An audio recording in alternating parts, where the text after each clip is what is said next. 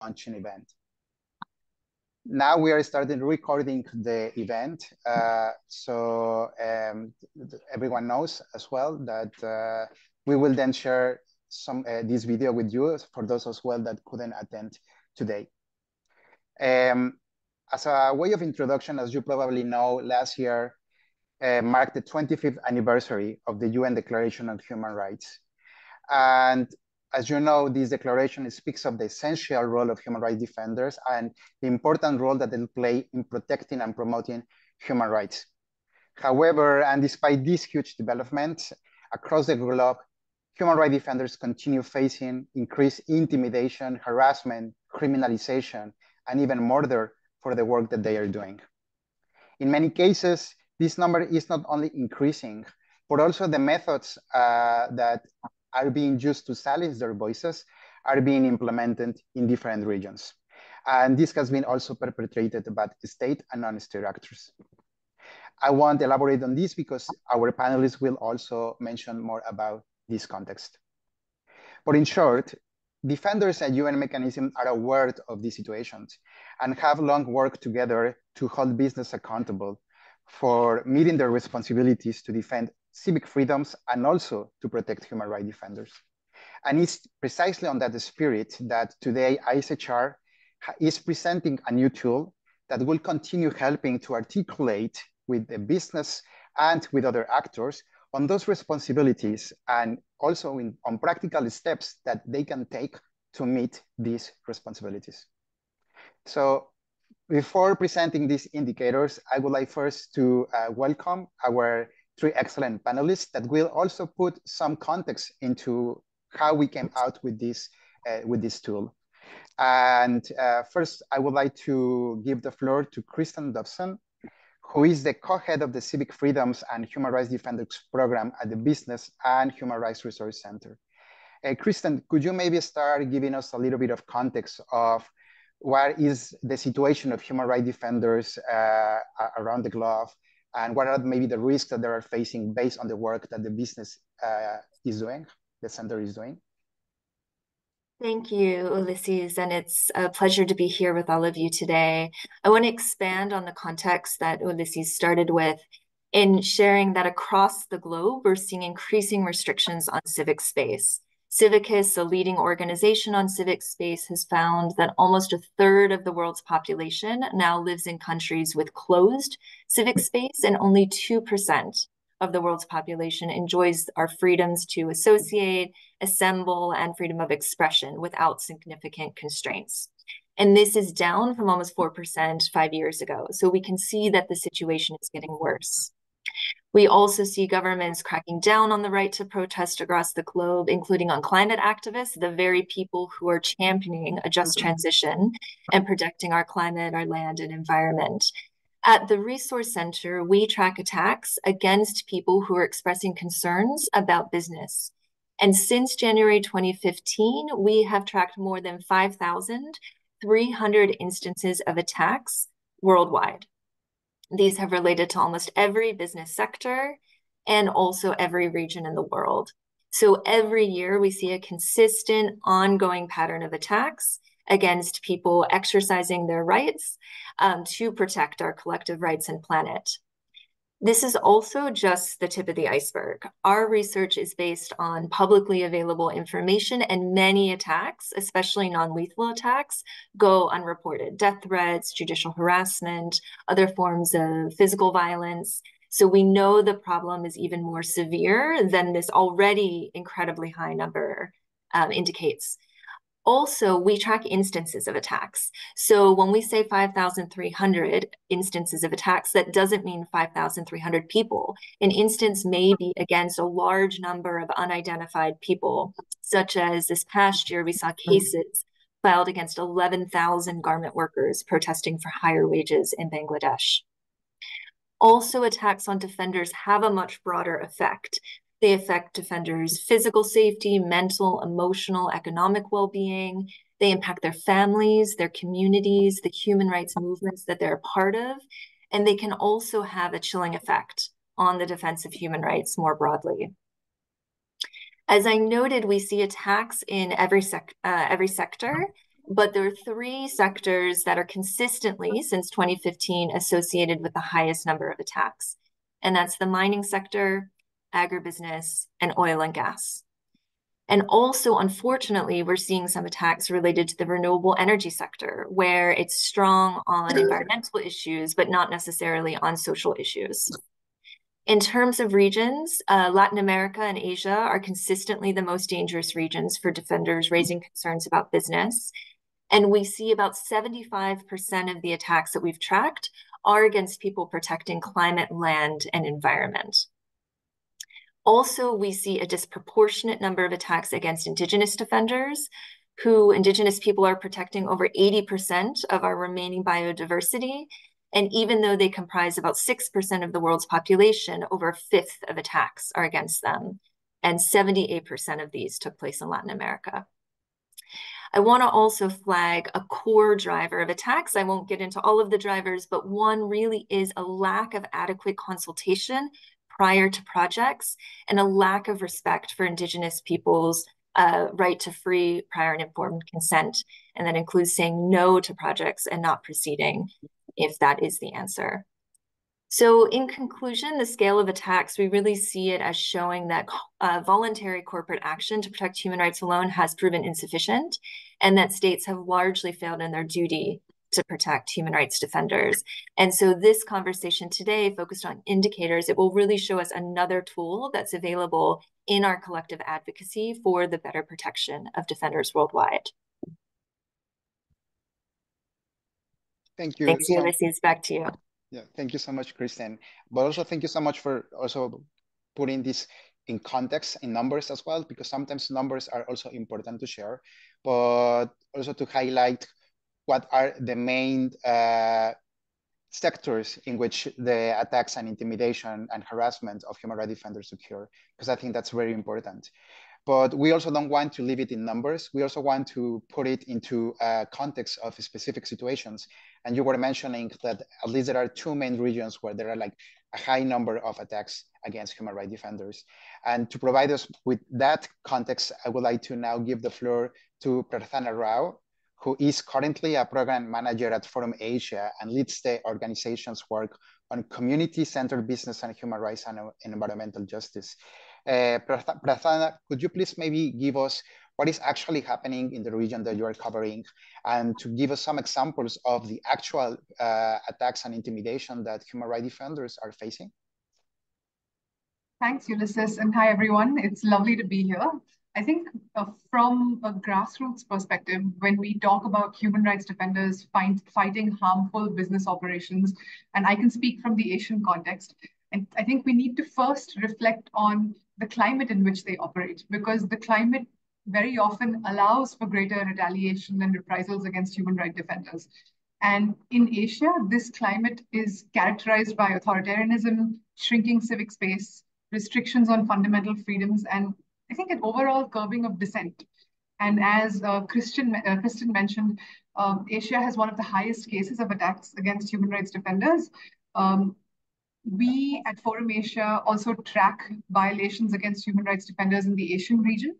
And I think we've seen that uh, since Jan 2021, um, for, we recorded about 2,546 cases uh, of violations against human rights defenders.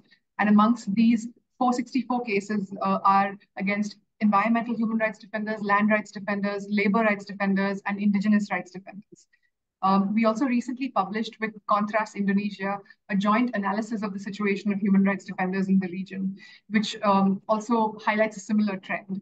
So this is extremely worrying because it clearly demonstrates that when there is democratic backsliding, um, it is very easy for states and businesses to use that to their advantage and stifle any sort of critical voice without accountability or justice. And through our network, we are connected to the grassroots who tell us about the ground realities of what it's like uh, to fight corporations um, and to fight governments who usually operate under complete impunity. And any kind of win becomes an almost impossible task. Just to give you a few examples, in the Philippines, uh, we've seen uh, how indigenous women uh, defenders in a community in Didipio, uh, they told us about how, while peacefully protesting mining operations, the police responded with violence, uh, shoved them aside, um, and then with riot shields, tackled them to the ground, handcuffing them, uh, which resulted in severe injuries. In another instance in Mongolia, we have seen that defenders were threatened, had their phones tapped, just uh, speaking out against mining co uh, corporations. In Kyrgyzstan, a prominent human rights defender was charged with forgery for exposing corruption by the state. Um, and another woman human rights defender lost her job at a university in 1999 because she spoke out against mining operations and since then has still not been able to find stable work. In Indonesia, we see an indigenous human rights defender who was protesting the presence of a company threatened with a gun and eventually arbitrarily arrested and detained, detained for supposedly stealing equipment from the company. So re realistically, when you as a community-based human rights defender are fighting against corporations and states who have immeasurable power, I think the question becomes, how do you win? There is such an environment of fear being created and operating despite these uh, challenges takes immense strength. It takes fortitude, it takes resilience. And that level of strength and perseverance is also unfair, I think, to demand from any human being. And at the end of the day, I think we need to realize that human rights defenders are also just people and people who are trying to make ends meet and survive. They don't have unlimited resources at their disposal. They don't have free time to keep dedicating to this while they're trying to earn a living. And they don't have lives that are free from responsibilities. And that's why it's important for us to support human rights defenders to make sure that the perpetrators don't use um, their advantage and continue business as usual. And I think that's why from, I think, a community perspective, what we see is how important it is to support human rights defenders in a very realistic, concrete, context-specific way so that they can continue fighting the good fight at the grassroots level. Uh, so yeah, I think that's the context I'd like to set. And back to you, Ulysses. Thank you. Thank you so much, Prathana. And also, I think that giving us these specific examples also uh, put, puts on in reality of what's actually happening. And while you are just sharing the context in, in, in Asia, uh, it's to mention that similar contexts are across the globe. And we are also seeing intimidation and harassment in all the regions, including Western countries. And, and that's a reality that we are facing. However, um, this context is not new and the reality that they are like uh, experiencing are not new. You are just giving us an example from the 90s. And because of this reality that it's not new, also it's not new that there has been some things that have been happening to address this issue from a different perspective, but also from the responsibility of businesses and, uh, and companies.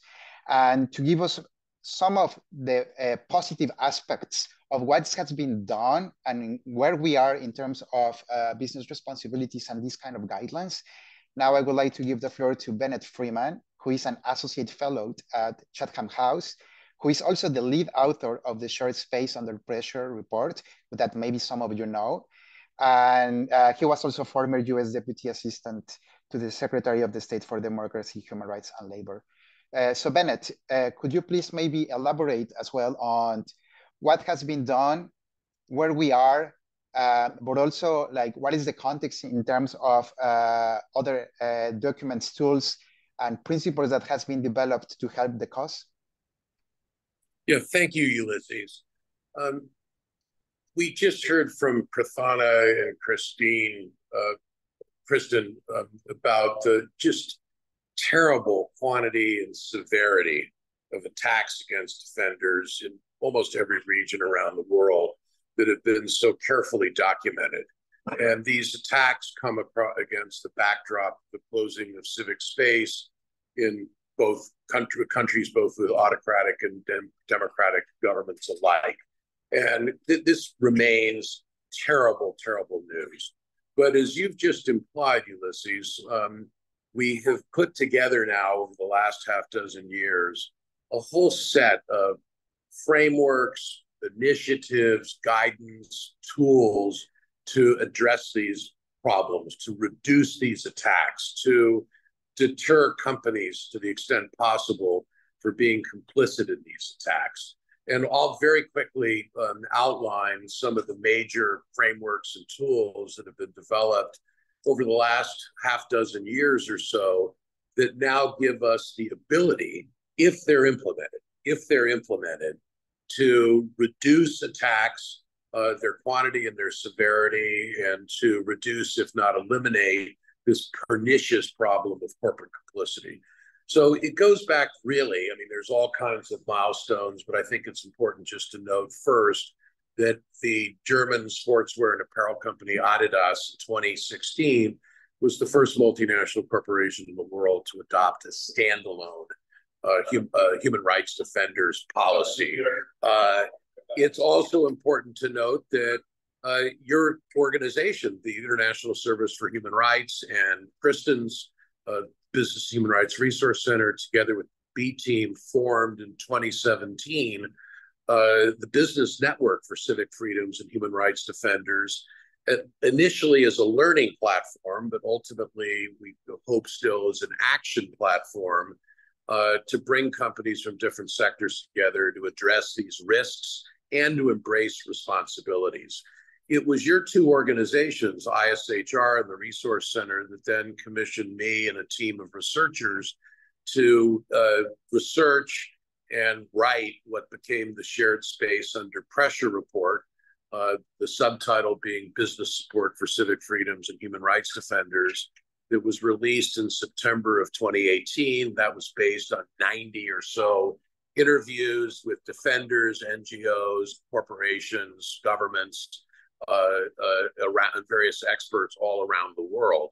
Uh, so that became a uh, analytical and operational framework to guide companies to make decisions, often difficult decisions, as to whether and if so how uh, to take action to prevent or, if necessary, mitigate attacks against defenders, as well as to advocate for the safe and enabling space of civic freedoms upon which defenders and indeed all of civil society rely.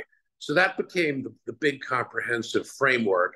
It was complemented, though, and reinforced by the development and launch in June of 2021 by the UN Working Group on Business and Human Rights of a similar uh, document, uh, uh, somewhat differently focused, but consistent almost entirely in its substance the UN Working Group on, on Business and Human Rights produced their guidance on human rights defenders. And there was a particularly sharp focus in that document on due diligence as well as on remedy. So between the UN Working Group document and the Shared Space Under Pressure framework, uh, we really had the two complementary, mutually reinforcing frameworks to guide companies uh, to, uh, uh, begin to tackle these problems and reduce their own complicity.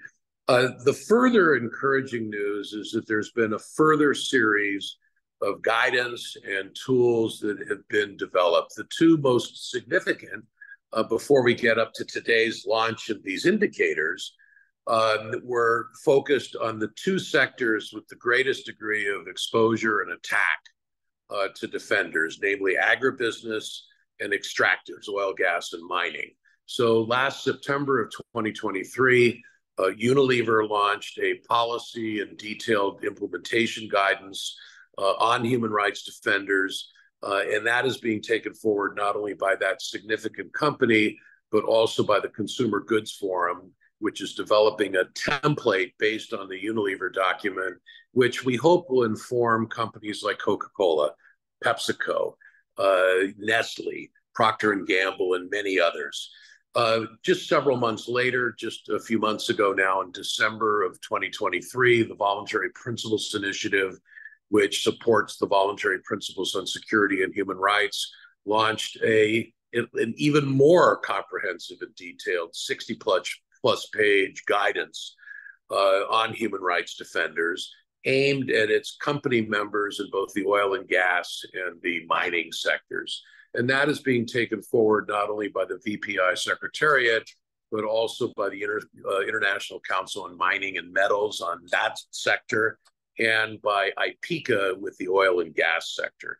So there will be significant already or significant dissemination, communication, and training efforts, both in agribusiness and extractives based on the Unilever and VPI guidance. And I should also add quickly that NGOs continue to develop tools and to run campaigns, whether it's the anti SLAPP campaign run out of Europe, uh, or the zero tolerance campaign, uh, or the human rights uh, policy, human rights defenders working group coordinated by a number of NGOs. Um, there is significant activity. So I'll just end, you know, my my opening remarks here by saying these problems, these attacks remain. They are pernicious, but we now have the frameworks, guidance documents in the most critical sectors with more to come, tools and initiatives, and adding now today these indicators that now allow us to define and address the problem. And the challenge that we'll talk later in this discussion about is how we implement what we have put together over the last half dozen years. That's the big challenge now. Thank you so much, Bennett. Uh, also, it's, it's a really good reminder that this is not uh, uh, an isolated document. It, it's also built on many other tools that have been developed, not only by the UN, but also by civil society actors who are constantly pushing for the implementation of these uh, uh, responsibilities. And maybe this will lead us to properly now launch the indicators and to also show what is it about? Now we're talking about these indicators, but also you're wondering like, what, what's the content? First, I would like to start by saying that um, these indicators are not isolated. And as I mentioned, it builds up to existing documents, but also to human rights law. Um, these are designed to provide a baseline guidance on what is required to monitor from the perspective of the responsibility of businesses to respect the rights of human rights defenders. As Bennett explained, we have come a long way of developing tools. So these indicators come as a complement to all these existing, uh, existing tools.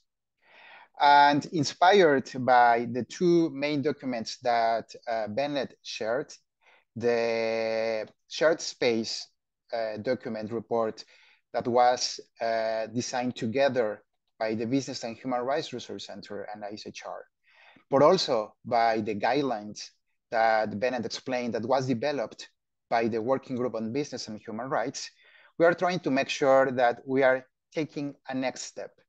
We are not only about uh, pushing companies, businesses, and even investors to just do no harm. We are really wanting them to act. And if it's necessary to adopt existing policies and guidelines uh, within their uh, businesses, but also to adopt guidelines and uh, policies to make sure that there is a, a implementation of these responsibilities. Uh, we also want to make to, to, understand that while we are not trying to be exhaustive of everything that the company or a business needs to do, we are trying to make sure that there are like at least 10 sections where like companies can do better. Uh, I would like to start with uh, with this poster that you can see in your uh, in your screen. That while it is not exhaustive of all the content that is in the indicators, at least gives you a little bit of an example of what it's in there. One of the main things that it's important that companies does is like zero tolerance on intimidation, attacks, and threats against human rights defenders. And for this, the indicators are also making sure that those public commitments and policies that are being established by, by, by these actors comply with a specific uh, uh, content. You will see in the indicators as well that there is like a list of at least um, seven to eight different ways in which you can realize these zero tolerance uh, uh, policies and commitments. We are also seeing that there are a specific section on human rights due diligence. And here I also want to recall what Christian was mentioning related to uh, meaningful and adequate consultation of communities, particularly on indigenous peoples, but also on the respect of the free, prior, and informed consent. You will also see that there are specific indicators regarding consultation and consent. We also see a section on transparency and accountability. And in this way as well, we are making sure that these policies are also known by, by, by the public, because then that would be easier to track. But there is also a way of good faith that uh, companies also make this accessible and also well known. There is also a section on uh, rapid response when they know that there are attacks against human rights defenders. It, uh, it, would, it would be uh, a vacuum document if we shouldn't have included also a section on access to remedies and grievance mechanisms. I think this is one of, uh, of the things that we really want to put emphasis because we really need to make sure that there is accountability. And the only way to make accountability is as well to having these different mechanisms. We also want them to also support civic freedoms to make sure as well that it's not only measures uh, established only for human rights defenders, but in general to create the conditions, as Prathana was explaining, that, that they can operate and work without intimidation and harassment. There are also specific indicators of uh, transparency in ways of UN mechanisms. As we know, more and more the uh, UN experts are also uh, sending communications and letters to companies for their responsibilities. So we also want to make sure that businesses respond adequately to these communications, but not only that they respond, but also that they make sure that their responses are being public.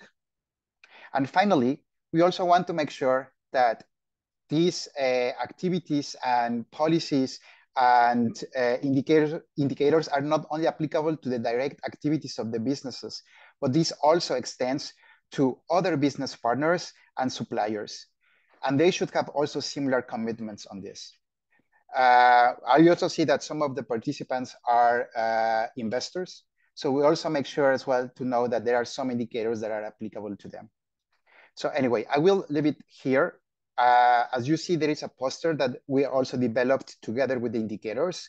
We will post the links in the, in the chat so you can have access to this document. And uh, we also would like to have comments by the panelists on these indicators. Uh, yeah, you have had the chance to also have a look beforehand on this document. You also know about the other existing documents that Bennett has mentioning, has mentioned.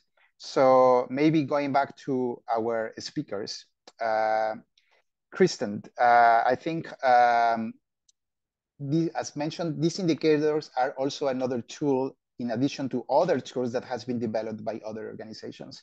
Could you please also make, maybe tell us how these indicators could be complementary to other documents or tools that exist out there, but also how do you see that these indicators could be useful for different actors that are, would be that would be relevant for the implementation of uh, these responsibilities? Thank you, Ulysses, for the chance to reflect. And I'm really looking forward to hearing reflections from all the panelists as well, uh, other panelists and participants. So I'll just share a few brief reflections. The first one I wanted to make on indicator one, the public policy commitment to respect the rights of human rights defenders, and to share with you all where we're seeing the status of progress on that.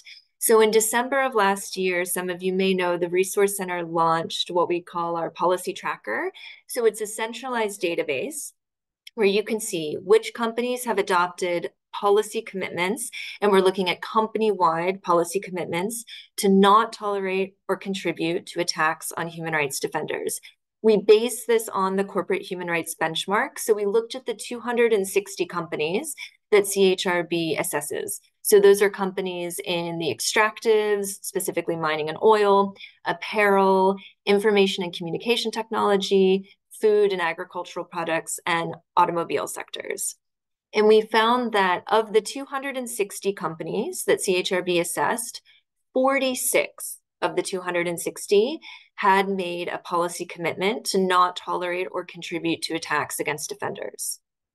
But then when we looked at the policies based on three just basic CHRB criteria, they have the commitment, they expect the same in their business relationships, and that policy commits to actively engaging defenders to create enabling environments for human rights defense, only nine companies met all three CHRB criteria. Now, Bennett, I think, has outlined very clearly that we have made a lot of progress. We have the shared space guidance, the UN Working Group on Business and Human Rights guidance on defenders. Uh, we've seen with starting from Adidas to Unilever. We have seen a number of policies and them getting stronger over time. Unilever is the only one to have implementation guidance to accompany it. We've seen industry associations either in the process of adopting guidance or having released guidance, such as VPI. So we do see progress. And though we also see that only nine companies meet these three basic criteria. And then when we look at the mining sector specifically, which is the sector where we see it's connected to the highest number of attacks, only five mining companies assessed by CHRB have a policy commitment to not tolerate or contribute to attacks, and no mining companies align with all three indicators. So the policy, applying it to their business relationships and committing to actively engage HRDs on enabling environments. So we i think there's momentum now that we collectively as civil society focused on these issues can build on to push for more policies better policies but then really on implementation as well and the indicators give us a tool that we can use to do that just another tool as part of this body to show that this is the expectation for companies. This is their responsibility. This is what they need to do. Uh, for companies, I think this is a really, the indicators are a really helpful tool to just understand what's expected of you, to support you in developing your policies and implementation guidance, and also in your grievance mechanisms. Uh, for investors, it's a helpful tool for your own policies also for you to think about questions to ask in your engagement with portfolio companies about their policies with respect to defenders, about their human rights due diligence, how they're assessing risks to defenders. And then also, I think it provides investors with guidance to inform action when an attack has occurred against a defender connected to one of their portfolio companies. And the shared space document that Bennett referenced earlier also gives a number of examples where companies have taken action in the past and investors as well. And then finally, with civil society, for us, I think it's just a really helpful shared reference that we can use in our advocacy with companies and investors and also governments so that they really understand what the company responsibility is. Uh, so looking forward to hearing from the other panelists and, and also those of you here in the virtual room. Thank you so much, uh, Christen. And that's also a, a, really good reminder for also our um, the people who is attending to this uh, presentation. In case you have any question and answer, I know that maybe you haven't had the time to go through all the indicators, but also try to make sure that we can take advantage of the presence of these three speakers in case you have any any, any question in, in, in particular.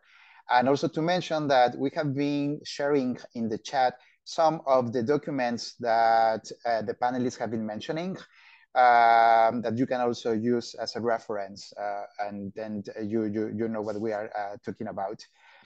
But uh, Christen, you, you already shared like how this could be used by, by, by companies and, and how this complement other, uh, other tools out there. But uh, going now back to Prarthana, because you, you, you, you mentioned the reality of human rights defenders. And we would like to know as well how, if at all, these indicators could also help on responding to the human rights defenders' realities that they are facing. And maybe also to give a little bit of what needs to be done by who, but also if there is something missing from these documents that you think should be elaborated further. So, Prathana? Sure. Thank you, Ulysses. And absolutely, I think these indicators can be used by civil society. And congratulations to everyone who has contributed to developing it. I think it provides much needed guidance on the role that businesses can play in respecting the rights of human rights defenders. And I think it's sometimes difficult to find indicators that are in easy language. I think in attractive looking infographics, um, you know, it just gives you a snapshot of all that businesses can do to protect human rights defenders. And I think the indicators that you've developed uh, really provide information in a very easily digestible way. So hats off to you and the team for developing that.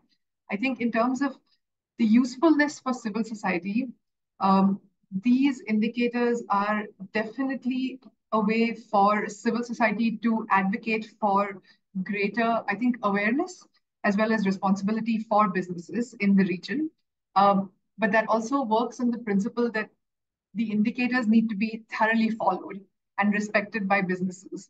Um, and as Christen mentioned, that while there are examples of businesses and corporations that thoroughly follow different benchmarks and principles, they're few and far between.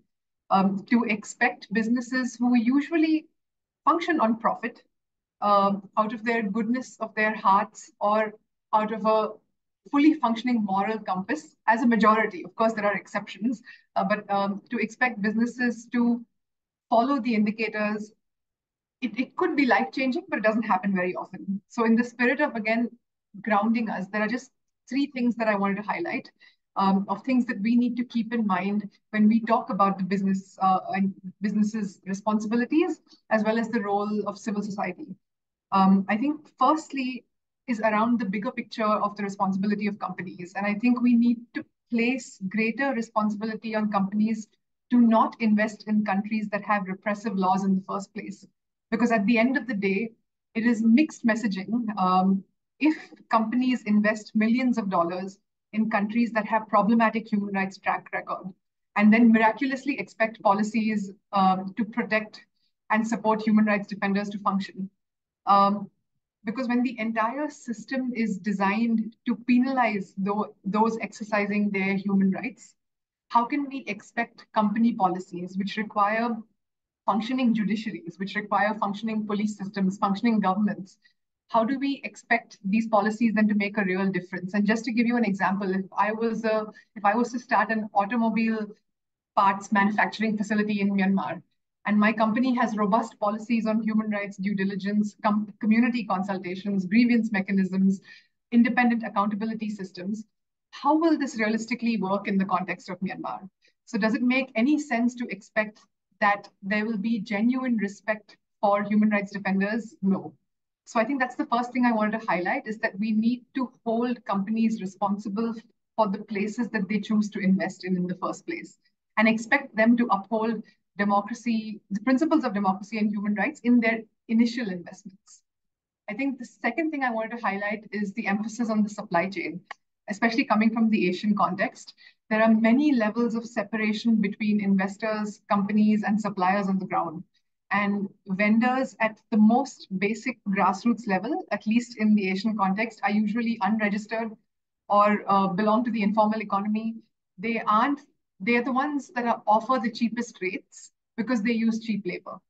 They don't have policies, they don't have strong rights-based legal frameworks. Uh, even the countries that they operate in don't have legal frameworks that are strong and human rights-based.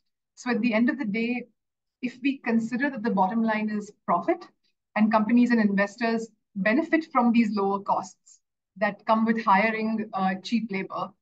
So when it comes to actually supporting human rights, how do we apply that in the context where realistically it's almost impossible to, to keep track of every layer of the supply chain? Do you know who's driving workers to and from your factories and trucks? Are those truck drivers paid well? So I think we need to pay a lot of attention on supply chains and how we can ensure that companies really employ human rights frameworks in every aspect of who they hire and not just focus on profits. And I think lastly, the point I wanted to highlight, and I would be remiss for not highlighting this, is that in all of this, the onus still remains on HRDs and human rights defenders.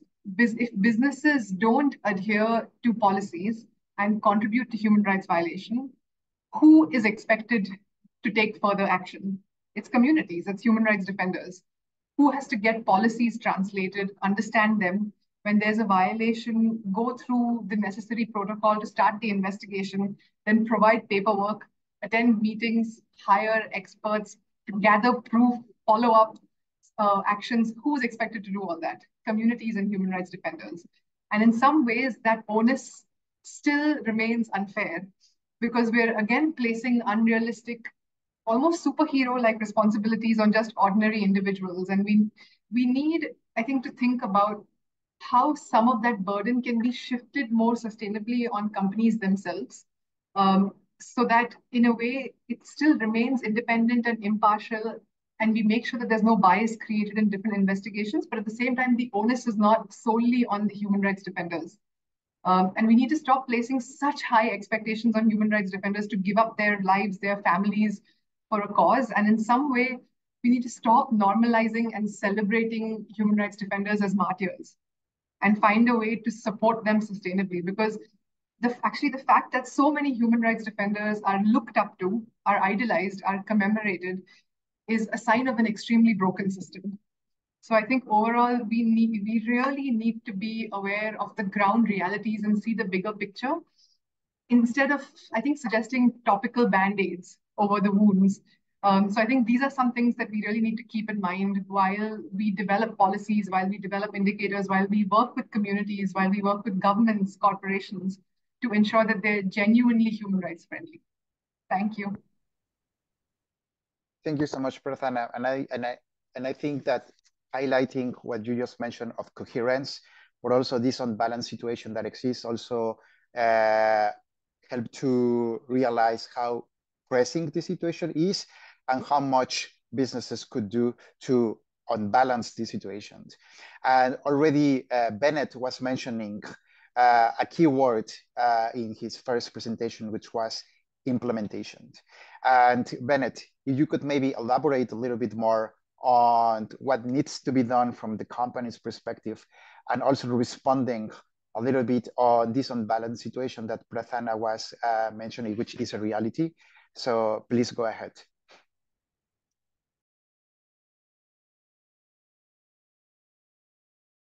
If you can unmute, uh, Bennett. Um, first on, you know, encouraging companies and for that matter, investors to think hard about where they operate and to try to avoid, if possible, companies where there's huge concentrations of tax against offenders and severe restrictions on civic freedoms. But I also like the emphasis on supply chains. And I would note that the major operational thrust of the Unilever implementation guidelines are on their relationships with suppliers around the world throughout their agricultural, mostly agricultural supply chains.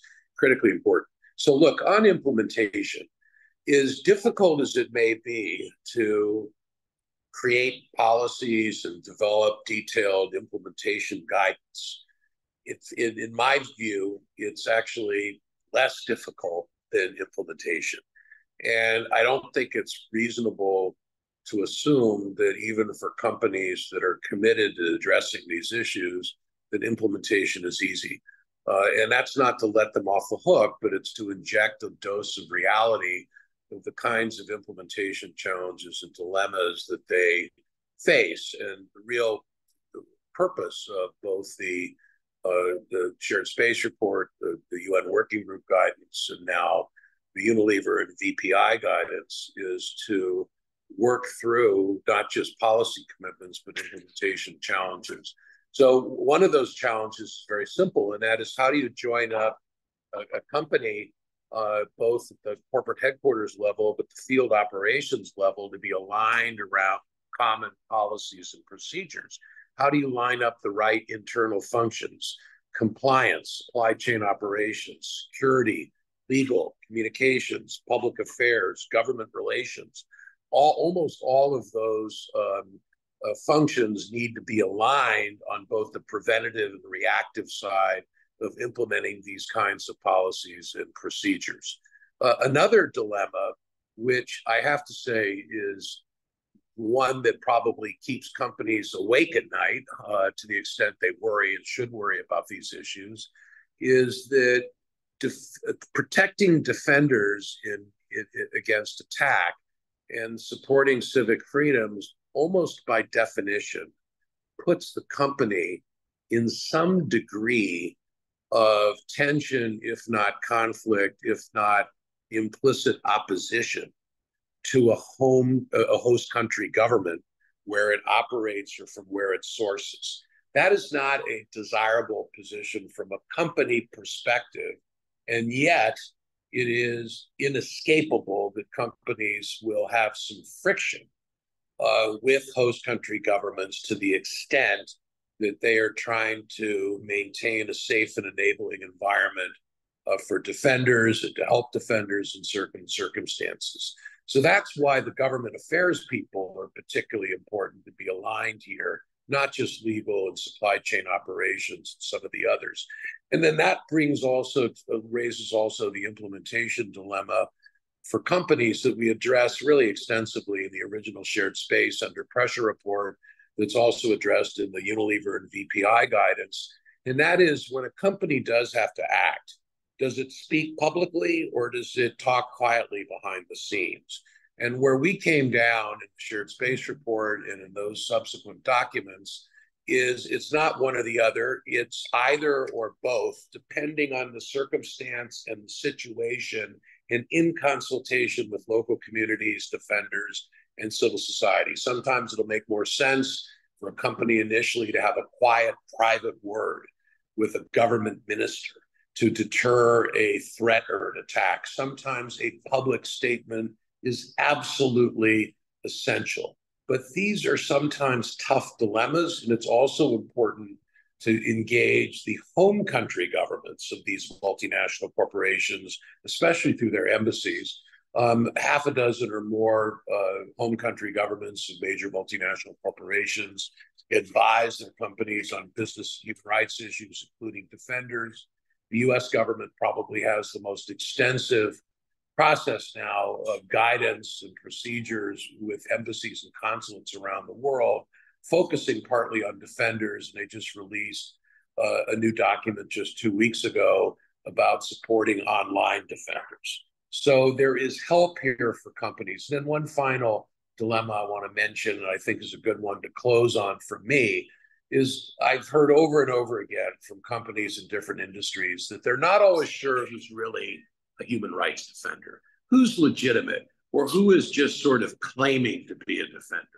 And what we have written over and over and said in public sessions and in private meetings over and over again is there's a diversity, a range of people who are defenders Yes, some may not enjoy full support or legitimacy among their communities, but that's the case with civil society in the world we live in. That said, the important thing is to respect the rights and to hear the voices of everyone, especially those who are critics of the company.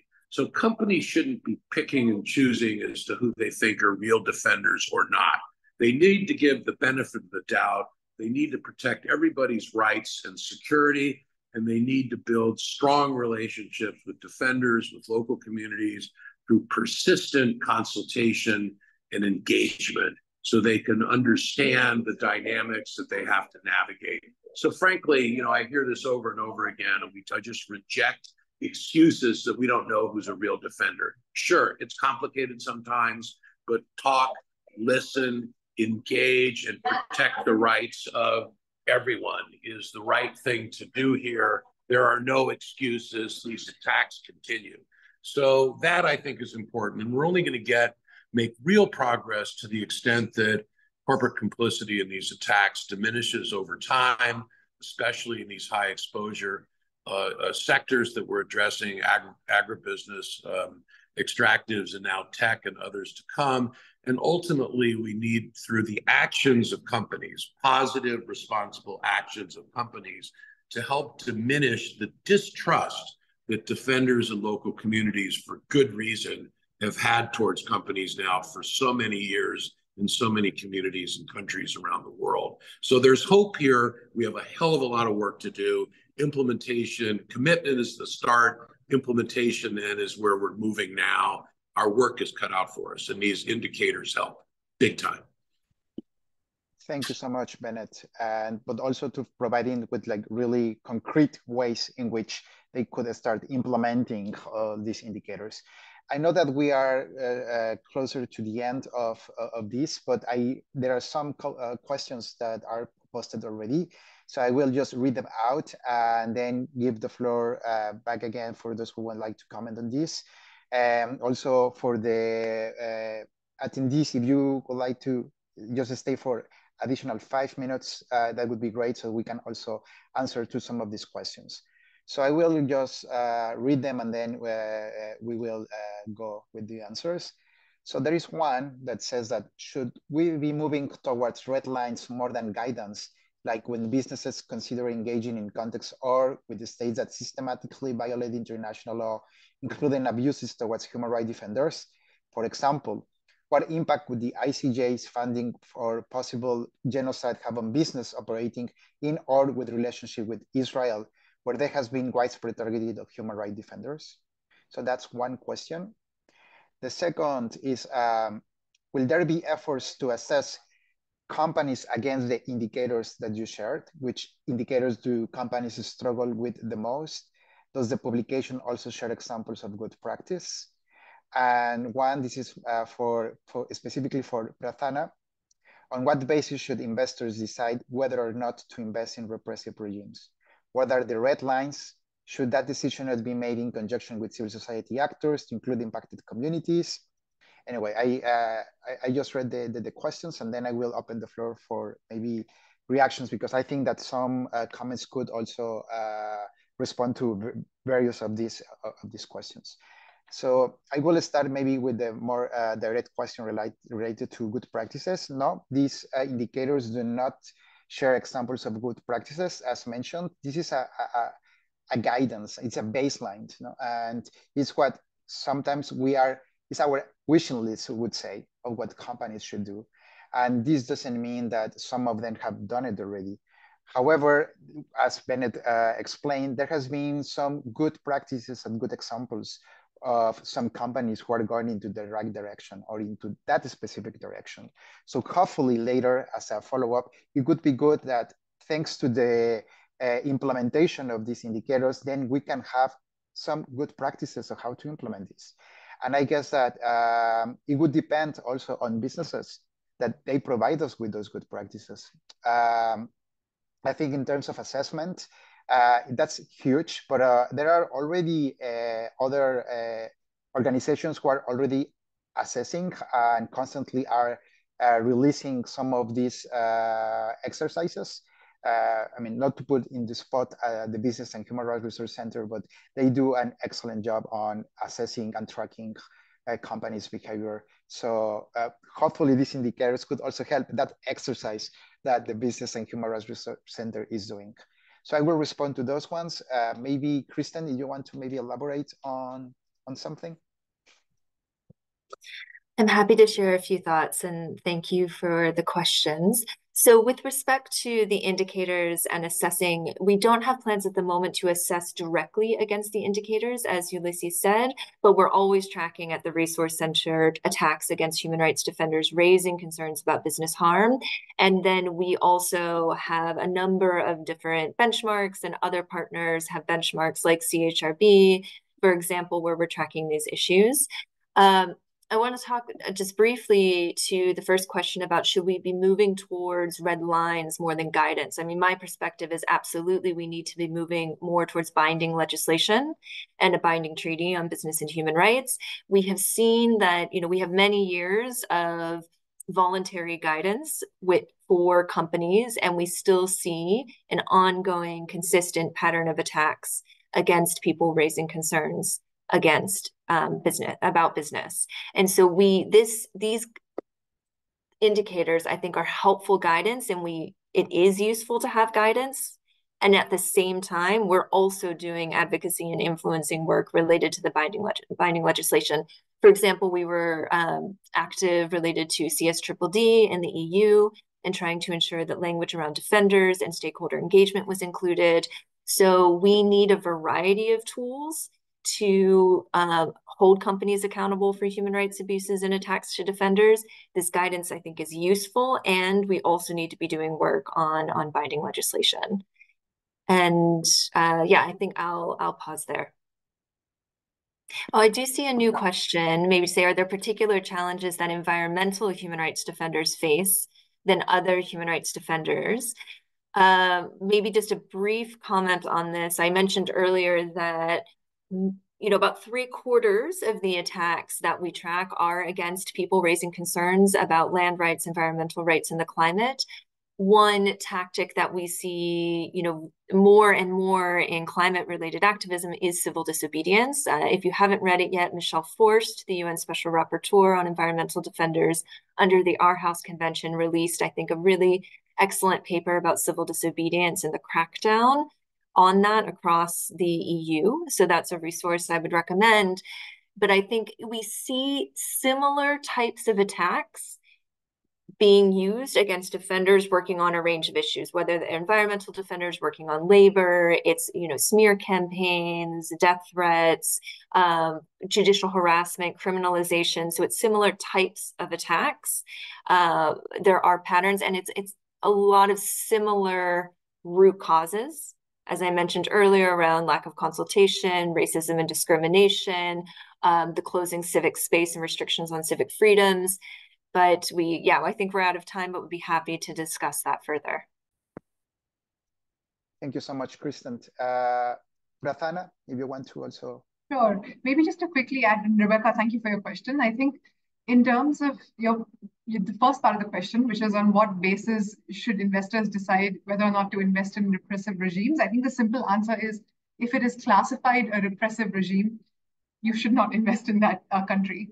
Because I think when it is a repressive regime, it automatically means that there aren't uh, the legal frameworks don't exist, vibrant civil society doesn't exist to fight back, to voice their opinions, and I think the that decision is should be informed by policies that investors usually have, whether it's uh, ESF, ESG. Uh, there are different uh, independent accountability policies. So I think there are different policies that investors already have with, uh, integrated into their investing um, that informs to what extent they should and should not invest in different uh, sites in different countries. And at the same time, civil society does a really good job of tracking which countries uh, have higher civic freedoms, have lower civic freedoms, uh, and that is informed by whether, for example, in which countries media workers are targeted for speaking up, in which countries environmental human rights defenders um, have fraudulent tax evasion charges placed on them for uh, just speaking up against business operations. So I think if investors' policies are informed by civil society research indicators and that can form a very robust framework for deciding where to invest and where not to invest. Um, Christen mentioned this Civicus monitor at the beginning, where she said that they track exactly which countries are open, which are repressed, which are closed. That can be a benchmark for decide for investors to decide um, which countries to invest in, which which which countries have closed civic space, which means that the red line has been crossed and that you should not invest in them. And in terms of consultation with communities and civil society actors um, while making this decision. I think absolutely in an ideal world, governments would involve civil society and communities right from the start when deciding whether they should invest in a project anyway. But we know that that doesn't happen. We know that communities are usually consulted as an afterthought, just as, as a checkbox exercise. So I think in, in a real world situation where communities aren't the foundation of the discussion, uh, but are just secondary to the discussion. I think we realistically expecting uh, it to be a collaborative effort is not going to happen. So I think that's when investors need to play a bigger role in ensuring that where they invest in actually respects civic space. Thank you. Thank you so much, Prathana. And I also would like to give the uh, Bennett, in case you have uh, further uh, reflections or additional comments or answers to the questions? If you can unmute yourself, please. Pass in the interest of time here, um, you know, but I'm, I know many of you on the call and happy to discuss some of these issues in detail as I continue my work with um, all Prathana and, and, and Christen and you, Ulysses, and many others. So I'm happy to leave it at that for now. Thank you so much, Bennett. And uh, we are running out of time. Also, maybe just like additional comments. Uh, it's true, I think that uh, it's real that environmental human rights defenders uh, right now are those who are most at risk. And I think that one of the responses to this is that right now we do have clear binding obligations towards environmental human rights defenders. I think that uh, the Aarhus Convention and the Escazú Agreement, two regional uh, um, frameworks were actually providing legal obligations to states. And eventually this would also mean that businesses need to adapt to those uh, uh, uh legislations when implemented are just the clear examples of the risks and the reality of environmental human rights defenders. So I think as well that we need to anticipate, and I think that's maybe uh, a way that we would like to, um, to, to close. I think businesses also need to anticipate because uh, there are not only voluntary guidelines that are being developed, we are also looking at legally binding rules that are being developed in order to make sure that businesses are accountable. So if, if we continue working together, not only with the side of these guidelines and indicators, and make sure that companies are also working in good faith, we are also anticipating and be prepared whenever these binding rules are coming. And I think it's just a good example in which like we can collaborate together. Um, also uh, to make sure that companies are also acting, adapting and adopting what is needed to be done to make sure that the work of human rights defenders are being done in a safe space. And enabling that space and going back maybe to some of the things that we are uh, sharing already is to recognize that we are in a shared space and it's a responsibility not only for uh, the states, but also for businesses and also for everyone to make sure that human rights defenders can work and really protect what others are not protecting. So we hope that uh, these indicators are useful. We hope as well that you can have the time to look at them and really to continue the conversation. If you have any further questions, either in the context of the indicators, but also to our panelists, please feel free to share, to send it, and we will make sure to, to share with the panelists. Um, without that, I would like only to thank our uh, three panelists, uh, Prathana, Bennett, and Christen for your time and for giving us some uh, very useful information and comments, but also to everyone who was here. Uh, it shows your interest, but also hopefully you can also share part of this document and recommendations and comments with others. Uh, thank you so much. Have, have, a really nice day and looking forward to continue conversations like this one. Thank you, everyone. Thank you. Bye. Bye.